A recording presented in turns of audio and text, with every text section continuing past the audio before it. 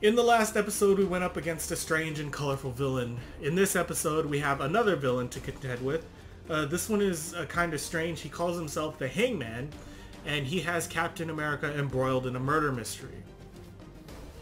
So let's get some background here. The story revolves around the death of Dr. Vardoff, who has invented a special brand of unbreakable twine. This twine could be used for countless purposes and is worth literally limitless money. Everybody wants this twine and now Dr. Vardoff has been found hung by the hangman. But who is the identity of this villainous hangman? Well, we have some suspects here. Uh, the jealous lab assistant, the mafia enforcer trying to collect on debts, and a rival businessman who wants to capitalize on this new invention. So who is the hangman? Well, we're going to have to read through the story and find out. Immediately we can see that the good doctor is having trouble finishing his invention. He's calling this miracle twine Super Silk, and he wants to produce it for the masses, but people keep showing up to interrupt his work. A rival businessman named Dino Cardi and a mafia enforcer who doesn't quite give her name the third visitor is Major Crane from Camp Lehigh. He wants uh, some of the good Doctor Super Silk to help build a better parachute, except this time the Doctor's not annoyed. He's open to the idea of helping the Army. However, outside we can see that Cap and Bucky are watching the lab along with various other mysterious characters. Who are they? Gangsters, international spies? It seems like just about everyone has their eyes on the Doc's laboratory. Cap and Bucky return to the lab at night to pick up the parachute, but the hangman is already there. He uses the super silk to create a noose, uh, which he uses to murder the doctor. Then he starts a fire to cover his tracks and makes his escape with the doctor's work. At this point in the story, man, I was hooked. It's a great introduction to the character. Hangman shows up and he is vile. He moves with a purpose, getting in there, doing the crime, and getting out without much shenanigans at all.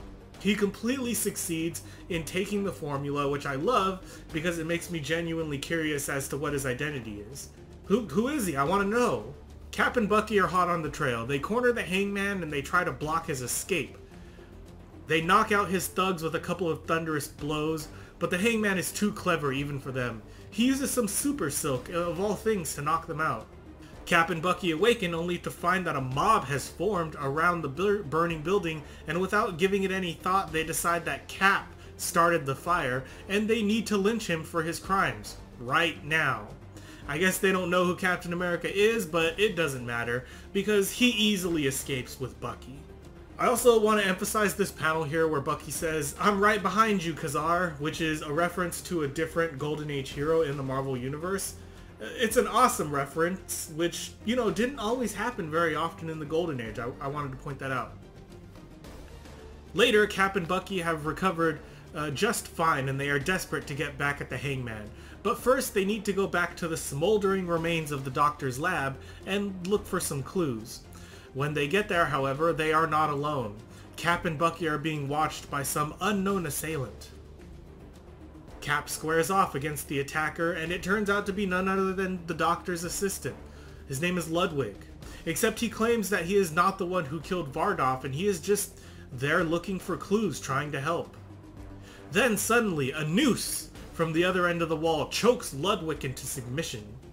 On the other end of the wall, Cap finds the Mafia enforcer, but even she claims that she isn't the hangman and uh, I believe her since the hangman is obviously a male figure. That eliminates two of the three suspects. The only one left is the man with the monocle, the rival businessman who wanted the super silk for his own greedy gains. Captain America has a hunch and he goes to the morgue to take a look at the burned body of Dr. Vardoff, only to find that the corpse has a glass eye. But he didn't have a glass eye. The body in the morgue is actually the Monocle Man, which means the true identity of the Hangman must actually be... Just then, the Hangman himself shows up and he uses his super silk to capture Cap and Bucky.